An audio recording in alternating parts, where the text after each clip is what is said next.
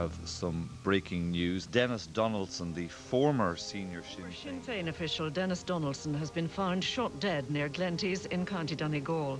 Mr Donaldson was the man... Three weeks ago, the British agent and Sinn Féin official Denis Donaldson was found murdered in this remote cottage. The ramifications of his killing go far beyond this part of rural Donegal. What is clear is that many people could have a motive to kill the man who for over 20 years spied for Special Branch and military intelligence. Tonight, Spotlight examines the last days of Denis Donaldson, and we ask why the lifelong Republican who betrayed his colleagues really believed it was safe to stay in Ireland. Gardaí say they have an open mind, but the blame game is well underway. It was done simply by a unit of the now so-called defunct provisional IRA. It has all the hallmarks of, of, a, of a, an assassination bid on, a, on a, what they would regard as the lowest form of life, a tout, an informer. But Sinn Féin reject that. Nobody here thinks that Republicans or the IRA were involved in the murder, murder of Denis Donaldson. I was a British agent. I have worked for British intelligence and the RUC PSNI Special Branch. The fact that he was a traitor means that uh, his death did not engender any particular sense of loss or deep grief, grief amongst the Republican faithful. And it seems his killers knew exactly how to find him. Denis Donaldson was a sitting duck for the IRA to take him out any time was unfinished Northern Ireland business that was concluded in this state. Whoever killed Denis Donaldson has killed before. No, uh, Will the full truth about his many roles ever be told? What happened, happened, and that's it.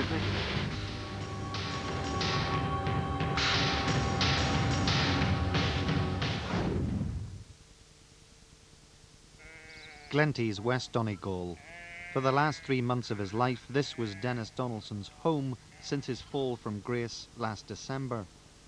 After he admitted to being a British spy for 20 years, he came here to this pre-famine cottage on a single track road. It was a Spartan lifestyle. With no running water or electricity, it was a world away from the life he used to lead. Steeped in republicanism, he was Gerry Adams' eyes and ears at Stormont. As Sinn Féin's assembly administrator, he was a party man who was popular with all political groups. He was a very affable, friendly guy, you know, he would have come into your office if uh, Sinn Féin were seeking support in something, he would have sat down at someone's desk, you know, poked through whatever papers were lying on it, flicked through their Rolodex, and you kind of looked at him, but it was it was only Denis, so no one really minded. No one regarded him with anything as anything other than what he said he was. But that all changed in 2002 when power sharing at Stormont was suspended over allegations that a spy ring was operating involving Denis Donaldson, his son-in-law Ciaran Kearney and William Mackessy but last December the case against all three was surprisingly dropped. The Public Prosecution Service said it was not in the public interest to continue with the case. My name is Denis Donaldson. Days later, Denis Donaldson dropped his own bombshell. I was a British agent. I was recruited in the 1980s. I've worked for British intelligence and the RUC PSNI Special Branch. The reason for the collapse of the Stormontgate case became clear after Denis Donaldson's admission the Crown needed to keep the role of informer secret and there were a series of other matters that the security services and the PSNI wanted to protect. Two months ago, Spotlight revealed that the Crown wanted to keep secret certain fingerprint evidence. One source told us that the fingerprints of a special branch officer and the fingerprints of another informer were found on the Stormont Gate documents that were discovered at Denis Donaldson's house. So rather than reveal secret special branch operations or the identity of informers, the PSNI then asked for the case to be dropped. Hours after his televised confession, Denis Donaldson disappeared. Normally, police informers are offered protection by the state. If Denis Donaldson was offered a new life, it appears he rejected it. He knew his betrayal had harmed Republicans, but Republicans said they wouldn't harm him. Can he return to Belfast? He can do whatever he wants, uh, frankly, uh, and that's something that, that he has to work out. Um, whether he will return to Belfast or not is something that only he can answer. Uh, I mean, we shouldn't be naive. This is um, in, in, in Republican and nationalist terms, well, even in Irish terms, uh, to be an informer is, is pretty bad stuff. You know. I mean, 15 or 20 years ago, he may have lost his life. That's true. So is he safe to return to Belfast? Absolutely, he is. There is no. Uh, he, he, has no fear from um, Republicans. Despite Gerry Kelly's reassurances, Denis Donaldson stayed away from Belfast, and he headed for familiar territory.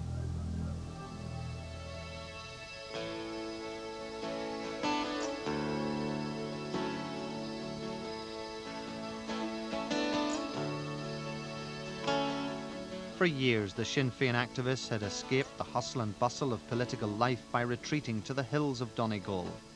It was here he came at the start of the year. The cottage outside Glenties was a family holiday home, and Donaldson had stayed there many times. Alone with few home comforts, this was to be his new life. He became a regular sight in the nearby village of Glenties, calling in for meals and provisions. And he occasionally came here to buy fuel. He just came in to, for to buy a bag of coal and came in and just paid for it. He's very quiet, didn't say very much and just paid for his coal and left again. Didn't hear anybody talking about him or anything. Just knew that that's who he was. Whatever he had done, that was didn't matter. He was just a customer coming in. We're very used to lots of people from Northern Ireland coming in here on a weekly basis, weekend. Many Northern Ireland people have holiday homes here. So it's not unusual to have people from Northern Ireland living around and no one pays much attention as to who they are. So why did Denis Donaldson go to Donegal? What seems apparent is that he stayed in Ireland in the belief that the IRA posed no threat to him. His televised confession may offer some clues, he showed no signs of disloyalty and endorsed the Sinn Féin line over Stormont Gate. I was not involved in any Republican spy ring in Stormont. The so-called Stormont Gate affair was a scam and a fiction. It never existed. It was created by Special Branch. Some Republicans were puzzled over Donaldson's Donegal move. One would have to wonder why he did remain in the country so long. I mean, uh, you would have assumed, considering all that occurred, having effectively, by his own admission, outed himself as a traitor, that staying in, in Ireland, especially in rural Ulster, wouldn't have been the most sensible option for him. Others believe the former Sinn Féin official went to Donegal simply because his options were limited. It does look as if he wasn't a wealthy man and he didn't, uh, you know, have, have the funds to you know, to, to, to go to Tenerife or whatever. Uh, he uh, he had he'd qu quite an old car. He didn't show signs of wealth. I've been told by some people who knew him he smoked roll-ups, for instance, and uh, he perhaps he, he just had no choices. He had to take the accommodation that was available to him. So did he strike a deal with the IRA by giving them details about his spying in return for living unharmed in Donegal? Denis Donaldson may have decided that he had to play a, a balancing game, uh, a balancing act. On the one hand, tell the IRA enough to placate them, and the other hand, not tell them some of the more nefarious activities. If, for example, and I don't know, but if, for example, he had IRA volunteers killed, he might want to withhold information of that nature in case uh, IRA, understandably enough, would be furious. So when he went to live in Donegal, you believe he went feeling safe. Why else would he go? Gardaí and Glenties were aware of Denis Donaldson's presence. The cottage was well known to them. Spotlight has discovered that it was searched in 2002 during the Stormont Gate inquiry. When Donaldson arrived this year, officers called on him and told him to contact them if he had any trouble. Details of his new life became known, and six weeks ago news reached Sunday World reporter Hugh Jordan. Last month, he set off to try and find him. One day in Belfast, I met a man who had been in Sinn Féin, funnily enough, with Denis Donaldson. He'd been a Republican with him some years ago and knew him well. And he mentioned to me that Denis Donaldson either owned or had access to this house uh, in West Donegal, but he didn't know where it was. He thought it was somewhere uh, in that general Blue Stack Mountains area, which was broadly enough known to me. And uh, he had been there with him. I made a number of inquiries there locally, and within three hours, I found Denis Donaldson's home. But how difficult was it to physically find his home? Well, it was difficult enough because I was up and down highways and byways, uh, small single track roads, and eventually I was led to believe that it was on the road to Doochary, which is a Gaelic speaking area there. So I, I checked all the roads to Doochary, and lo and behold, I, I see his, his car parked outside this small cottage. Um, Hugh Jordan met Denis Donaldson outside his cottage. The encounter was secretly recorded by a former RUC officer who now works as a security consultant. I was thinking that the press conference in Dublin was so short that you never get a chance to say too much. Well, what I said was what I said. Aye. Well, what holds for the future for you now then? Well, this is it here. In Donegal? Aye. Initially, and I was there a total of 14, nearly 15 minutes. Uh, initially, it was like drawing teeth trying to speak to him. But he settled down and uh, then he, he opened up. When he did speak about Stormont Gate, Denis Donaldson again supported Sinn Féin's version of events. There was never a spy ring in Stormont. I said you saying that, aye. Well, And uh, in there's the, the answer to that question. mhm, What was all that? What were they at? What was that about? mhm. There was never a spy ring at Stormont. The agenda is quite obvious. It was uh, collapse the institutions and get Republicans to blame, get Trimble off of it. Did he seem to be relaxed to you? The longer the conversation went on, he seemed relaxed. Nice wee place you've got. Sorry. A bit different from Stormont. That's a bit different, but sure. He didn't seem frightened or. Oh, he haunted? did, he did, he did. There were, the, he was relaxed with me, but he was a lost soul. I said, Will you ever go back to Belfast, to your home, to your family? And he said, I don't know, I might. Four days later, Hugh Jordan's conversation with Denis Donaldson became a Sunday World exclusive and made headlines in Ireland and beyond. The Sunday World article didn't reveal the location of his cottage, but a Press Association report which was used by other newspapers did mention the town of Glenties. I got the sense that that man was living there anticipating a next move in his life. He appeared to be a man who was not in control of his future. And I think the events that subsequently took place bear that out. If I had been him in his position, I would have left Donegal within hours of myself or another reporter calling to see him. Now Denis Donaldson had a choice move on or stay. He told Hugh Jordan that now his whereabouts were known, he would be leaving. Well, I'm, I'll not be staying here too long now. What can you do now? I don't know.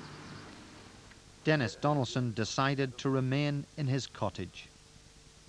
The day after the Sunday World article appeared, I travelled here to Glenties with a colleague to see if Denis Donaldson would record a television interview. We knocked on his door, and to our surprise, he was still inside. We introduced ourselves and asked him if he would talk to us, but he refused. So we placed our business cards at his door and then left. Denis Donaldson's decision to stay in Donegal would cost him dear. Spotlight's been able to piece together the final days of his life. He spent Sunday, April the 2nd, in the company of his wife. She was collected by family members and returned to Belfast that evening.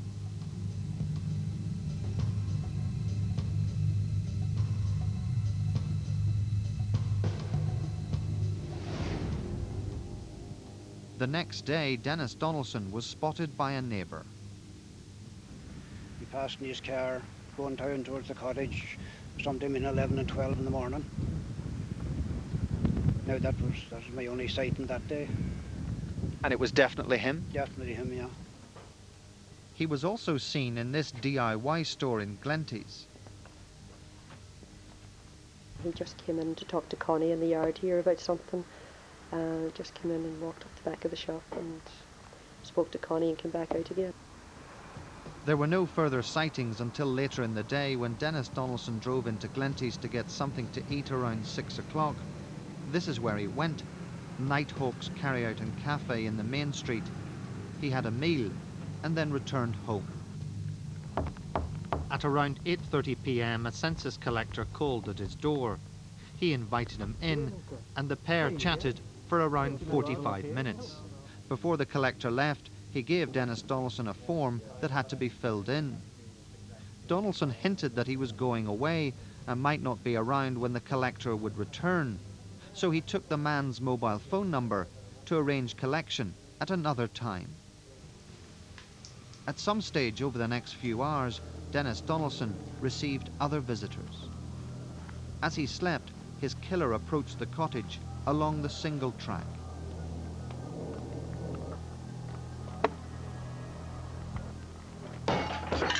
A rock was thrown through the window.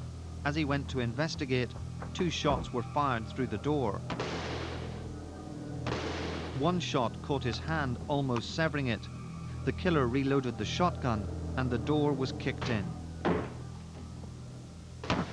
Denis Donaldson was shot again in the chest and the head. His body lay undisturbed until late afternoon when a neighbour drove past. She spotted the damaged door lying open and went in to investigate, and then rang the Gardaí. News about the shooting quickly spread. Good evening. We start with breaking news. Denis Donaldson, a former member of Sinn Féin, has been shot dead in County Donegal. Inevitably, the behaviour of the Sunday World came under media scrutiny, and its expose dominated the airwaves. I think this was a bit of a coup for your paper, and you just didn't really think the consequences for this poor man. He was uh, hunted by you, and now he's been hunted by the IRA. I think it's comical that they're trying to lay the blame at the foot of the Sunday world. Why would you locate where that man was staying? You are as bad as anybody who shot him for singling them out. There are thousands, literally thousands, of whitewashed cottages, and there was nothing apart from us saying that it was in Donegal to, to, to, to pinpoint the location of the area or, or, or, the exact spot where he was living. What of those who argue that your article set Denis Donaldson up for murder? Well, I, I, did not, you know. But my story had nothing whatsoever to do with the murder of Denis Donaldson, and we were not responsible for, for setting him up for murder. The people who are responsible for Denis Donaldson's murder are the people who went there, sought him out, and, and pulled the trigger and ended his life no one else. Journalist Hugh Jordan was not the only person put under the spotlight. Media attention focused on the man he took with him to Donegal. The Sunday World had hired a former RUC officer who now works as a security consultant. I engaged the services of this fella specifically to take the film for me. Uh, nothing else. He didn't even know where he was. I'm sure he'd never been in Donegal in his life before. He had no local knowledge. person with local knowledge and the ability to track down Denis Donaldson locally was me. As the Gardaí launched their murder investigation, there was little to go on. At this stage, I'm keeping an open um, mind on the inquiry. I'm following, following all avenues, and at this, at this stage, I cannot say the motive for this crime. Is there any positive or definite leads? At this stage, no. We're just uh, the body has just left the scene, and we're carrying out a more detailed examination of the scene We've had search teams out since half seven this morning trying to collect all of the evidence. Denis Donaldson's killer used a shotgun, a weapon not normally associated with terrorist attacks. Its use has made the murder hunt particularly difficult. Forensically, it makes it impossible. It's not like any other bullet, if it's located in a body or out of woodwork, or it can be the, what they call the markings on it, can be ballistically proven to be fired from a certain weapon.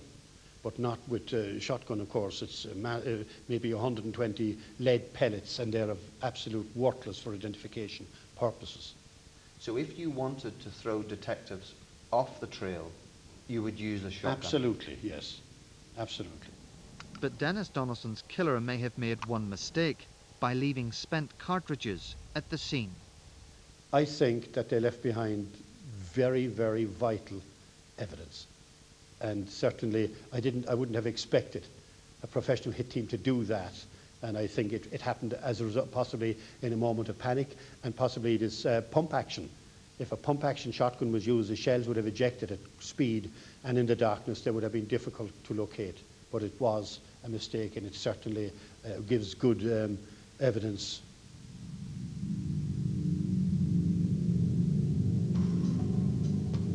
So who could have killed Denis Donaldson? Initially, the finger of suspicion was pointed in the direction of the Provisional IRA, the group most damaged by Denis Donaldson's 20-year spying campaign. But within hours of his death becoming public, the IRA issued a statement saying no one from that organisation was involved. That position was endorsed by the Donaldson family, who said they believed the IRA and said they'd been put in a difficult position as a direct result of the activities of the Special Branch and British intelligence agencies. But it's the IRA's long and bloody track record when it comes to killing informers that has prompted many to suggest the group had a hand in Denis Donaldson's murder. Over the past 30 years, dozens of informers have been killed. The most recent was Eamon Collins, who was found beaten and stabbed near his Newry home in 1999. The IRA's Green Book states that informing carries the penalty of death, and within republicanism, it's seen as treason. Mr. Donaldson was a traitor. And Irish history, and as an historian I'm more than aware of this, and as a Republican I'm aware of this, Irish history is littered with bitter defeats which have been brought about as a consequence of the actions of traitors, informers, spies, call them what you will. So you believe he was murdered because he betrayed the Republican cause? No, I didn't say that at all. But I'm just saying to you the fact that he was a traitor means that uh, his death did not engender any particular sense of loss or deep grief, grief amongst the Republican faithful. When the IRA say they weren't involved, do you believe them? I do believe them, and the family of Denis Donaldson also believe them. Because the IRA have told lies in the past? I, I, believe the statement that the IRA have said. I believe that you know that they are in a new mode, and that has been recognised. Um, that you know that they have committed themselves to exclusively democratic and peaceful means. Last July, they have followed that up by putting their arms beyond use. You know, people on the ground, and I know myself. This is the constituency that I represent. Nobody here thinks that Republicans or the IRA were involved in the murder murder of Denis Donaldson. So, if Republicans were not responsible, who was? Could it be that those who recruited Denis Donaldson and ran him as an agent wanted to silence him? I think it's unlikely. You can never rule anything out. But to be honest, British intelligence don't have a track record of shooting rogue, rogue agents or killing them. Six months ago, if I sat here and told you that Denis Donaldson was working for British intelligence and collapsed a democratically elected uh, government, you know, nobody would believe me. But that was the reality. So in the, in, in the world of Denis Donaldson and what he's been involved in colluding with British intelligence, I wouldn't rule out and I wouldn't speculate and I wouldn't just solely point the finger at Republicans. So who else was capable of carrying out the murder? Some within the Republican community say there is a feeling the Donaldson killing was about settling old scores. Well, my suspicion is that it was a freelance operation by people who were acting for motives of retribution and revenge. I tend to believe the IRA when they said that they didn't do it. Uh, on the other hand, I think that it's unlikely that loyalists or even dissenting Republicans or British intelligence, perhaps even for that matter, did it. I, I think it was people, former comrades of Denis Donaldson's acting in a freelance capacity. Former comrades from the IRA? I would imagine it was former comrades from the IRA, but now ex-members of the IRA are and acting without the authorization of the IRA. Other seasoned observers of republicanism say there's little reason why the IRA would sanction the killing of Denis Donaldson. Well, in my view, it does not make strategic sense for that leadership to have uh, had Denis Donaldson killed. Uh, but there are a lot of people out there who would be angry that Denis Donaldson uh, escaped uh, retribution for uh, his activity. And they would have sufficient motive to kill him. And there are men. I, I totally disagree with the killing.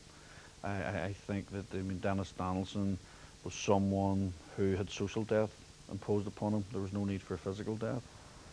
So could dissident Republicans be responsible? There's been no claim from either the continuity or the real IRA. And some argue that it suited dissidents better to keep Denis Donaldson alive. I listened with interest to uh, a, a member of the so-called dissident Republican, and she said that Denis Donaldson never did any damage to the continuity IRA or the so-called real IRA. The damage that he did to was mainstream Republicans, the, the, the, the people who would have most cause for hurt and concern and would wish him more damage must be within that family of mainstream Republicanism. 21 days into the murder hunt, the Gardaí say they still don't know who killed Denis Donaldson. There have been some media reports that he was killed because he passed on information that led to the deaths of IRA personnel at Loughgall and Gibraltar. Garda sources have told Spotlight there's no evidence to suggest such links. With no eyewitnesses, limited forensic material, and a long list of suspects, the difficulties are obvious. They're up against it. And the likelihood, my straight answer is it's going to be very, very, if not an impossible task. So you think it's likely that the killers will never be caught? I do. Denis Donaldson's double life as an Irish Republican and a British spy may never be fully revealed. Any regrets or? Of course, I've, hmm. Do you think they suckered you into the position you get into? Who's it? Well, the, the British.